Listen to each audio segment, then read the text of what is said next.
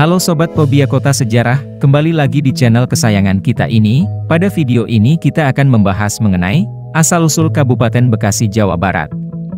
Menurut Porbat Jaraka, seorang ahli bahasa Sanskerta dan Jawa kuno, asal mula kata Bekasi, secara filosofis, berasal dari kata Chandrabaga. Chandra berarti bulan dalam bahasa Jawa kuno, sama dengan kata sasi, dan baga berarti bagian. Jadi, secara etimologis kata Chandrabaga berarti bagian dari bulan. Kata Chandrabaga berubah menjadi Bagasasi yang pengucapannya sering disingkat menjadi Bagasi. Kata bagasi ini dalam pelafalan bahasa Belanda sering kali ditulis, baca sie, kemudian berubah menjadi Bekasi hingga kini. Bekasi dikenal sebagai bumi patriot, yakni sebuah daerah yang dijaga oleh para pembela tanah air. Mereka berjuang di sini sampai titik darah penghabisan untuk mempertahankan negeri tercinta dan merebut kemerdekaan dari tangan penjajah. Balada kepahlawanan tersebut tertulis dengan jelas dalam setiap bait guratan puisi heroik pujangga besar Hairil Anwar yang berjudul Kerawang, Bekasi. Sejarah terbentuknya Kabupaten Bekasi dimulai dengan dibentuknya Panitia Amanat Rakyat Bekasi yang dipelopori R. Supardi, M. Hasibuan, KH. Nur Ali, Namin, Aminuddin dan Marzuki Urmaini, yang menentang keberadaan RIS, Pasundan dan menuntut berdirinya kembali Negara Kesatuan RI.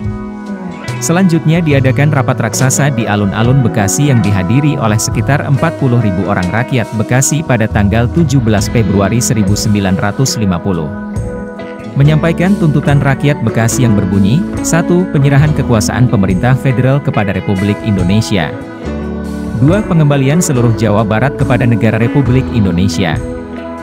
3. Tidak mengakui lagi adanya pemerintahan di daerah Bekasi, selain pemerintahan Republik Indonesia. 4. Menuntut kepada pemerintah agar lama Kabupaten Jatinegara diganti menjadi Kabupaten Bekasi, M. Upaya para pemimpin panitia amanat rakyat Bekasi untuk memperoleh dukungan dari berbagai pihak terus dilakukan.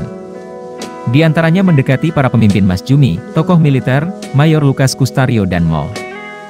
Mo Efreini Mukmin, di Jakarta. Pengajuan usul dilakukan tiga kali antara bulan Februari sampai dengan bulan Juni 1950 hingga akhirnya setelah dibicarakan dengan DPR RIS, dan Muhammad Hatta menyetujui penggantian nama, Kabupaten Jatinegara, menjadi Kabupaten Bekasi.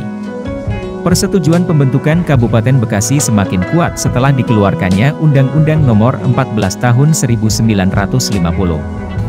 Kabupaten Bekasi secara resmi dibentuk dan ditetapkan tanggal 15 Agustus 1950 sebagai hari jadi Kabupaten Bekasi.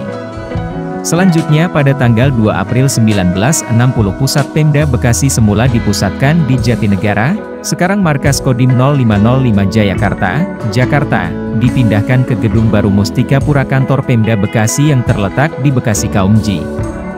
Junior Haji Juanda Nah itu dia sobat untuk pembahasan pada video kali ini, bagaimana pendapat kalian sobat?